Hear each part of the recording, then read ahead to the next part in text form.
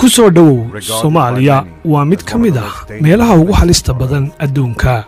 Duniduna u aqoonsan tahay dalkii guuldaraystay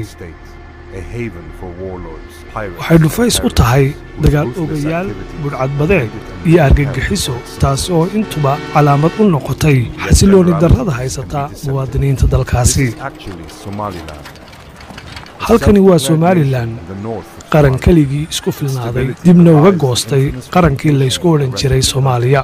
Waa dal isagu iskabay nidaam samaystay kuna guulaystay nabadgelyo aan ka jirin caalamka intiisa badan. Waa dal aan bulshada caalamku aqoonsan caasimadiisuna waa hargeysa ilahiisa dhaqaale waxaa ka mid ah maalgelinta qurba joogga.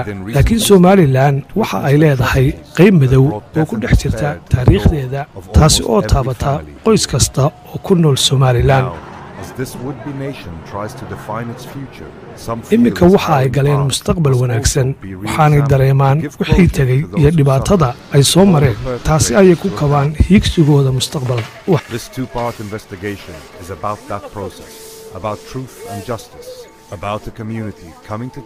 waxaa jirta qayb dabagal ku haysa manaxayaashii gumaadka u geystay si loo hor keeno cadaalad lana mariyo ciqaabta ay mudan yihiin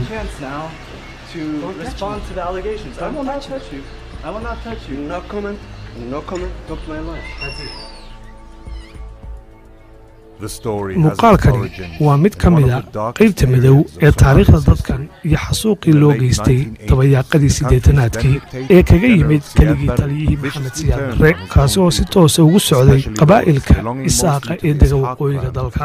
taasi waxa ay dhalisay mas'uuliyaddeedana yeelatay dhaqdhaqaaqii hubaysnaa ee somali national movement ee esanam taasi oo sabab u noqotay kasbashada xorriyadda dalka iminka la yidhaahdo somalilan tobannaan kun oo muwaadiniin ah ayaa la dilay shan boqol oo kun waa la laayey meel ay ku dambeeyeenna dadka intii badbaadayna.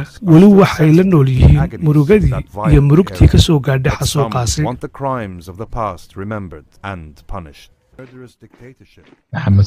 maxamed siyaad barre waxa uu ka qayb qaatay nidaamkii dagaalkii qabooba ee midowda soofiyeti iyo maraykanka waxaanu ahaa hogaamiyihii ugu horreeyey ee afrikaana ee qaata nidaamka shuuciga. Haddaba cadaawadda uu u hayay siyaad barre waata keentay in ciidamadiisu iska duubaan muuqaallo kuwaasoo muujinaya sida ay u dabargoynayaan dadka ka soo jeeda somalilan iminka waxaan idin daawadsiinayaa qayb ka mid ah muuqaaladii ay iska duubeen ciidamada siyaad barre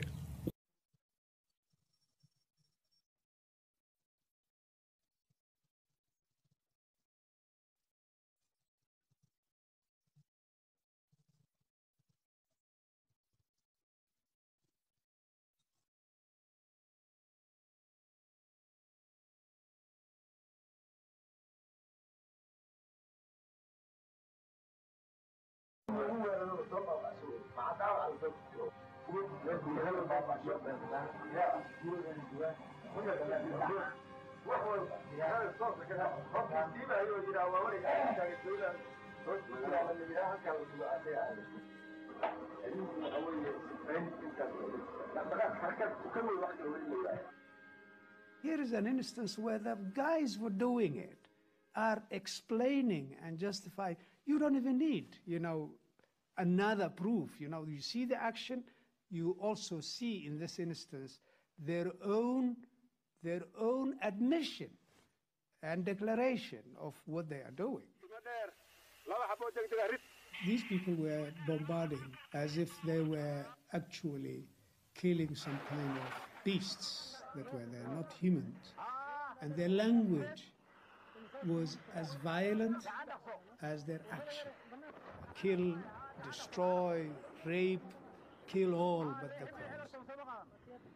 siyaad barre waxa uu amray in la garaaco shacabka hargeysa dhulkoodana la baabi'iyo.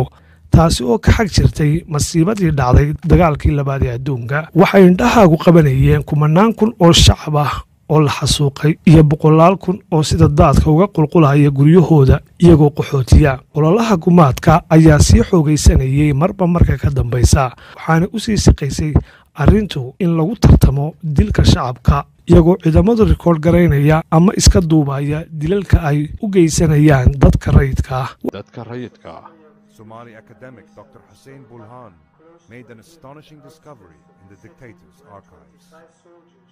I waxaan helay cajalad taasoo xaqiiqdii ahayd jiilkii shanaad. Waxaanay ahayd koobiga ay iska duubeen milatarigii gaar ahaana taliyayaashii milatariga ee ku sugnaa xafiisyada hargeysa. Waxaanay iska duubayeen xasuuqii iyo siday u burburiyeen rayidka si ay u tusaan taliskii siyaad barre shaqada wanaagsan ee ay u hayaan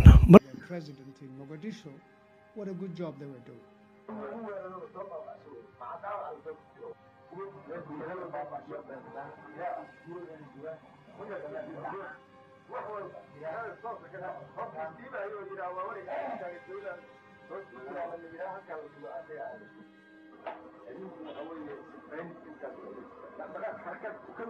اللي baa jirtay nimankani waxa ay samaynayaan ay sharaxayaan oo ay qeexayaan. Markaa looma baahna caddaymo waayo waxaad aragtaa siday u qirteen wakhtigan iyo baaqa waxay iyagu samaynayaan. Dadkan waxa aad moodaa in ay garaacayaan xayawaan maaha bashar sida loola dhaqmo. Luuqadda ay ku hadlayaan waxa ay ka turjumaysaa dil kufsi iyo burburkii. Kulligood laaya tukaha mooye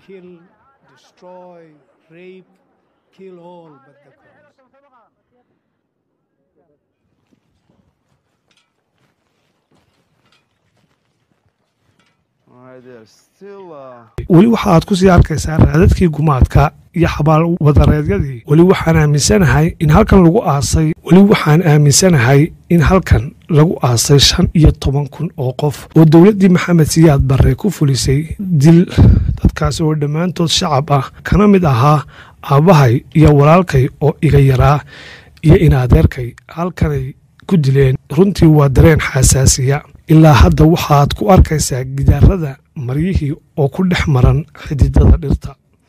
Marka waxaa halkan ka dhacay ma aha mid wax yar aanu ku iloobayno waa dhacdo xanuun badan oo mudan. In la xasuusto waana qayb ka mid ah taariikhdayada. Qayb ka mid ah uh,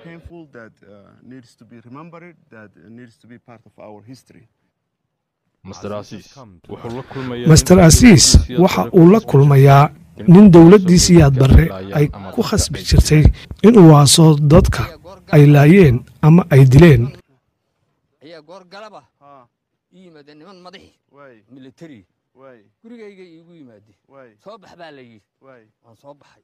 Way, waa maxay baan idhi way, waxay dhaheen meyd baa arradii ka buuxa malka durdure ha, kale aas. Way, cagaf la soo baxo haa cagaftimaan dabeetana Ha, soo saaray.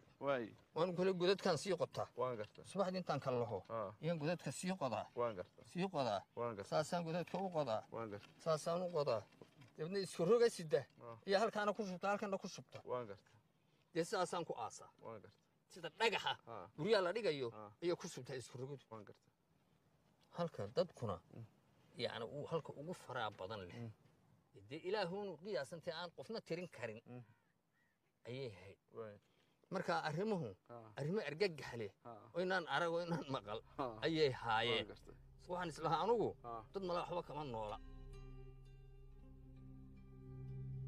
dadka uu laayo siyaad barre waxaa lagu aasi jiray boqolaal god oo aan calaamadaysnayn kuna hareeraysan caasimadda hargeysa waxaana xasuus badan ku reebtay dad badan oo maankooda ku waayey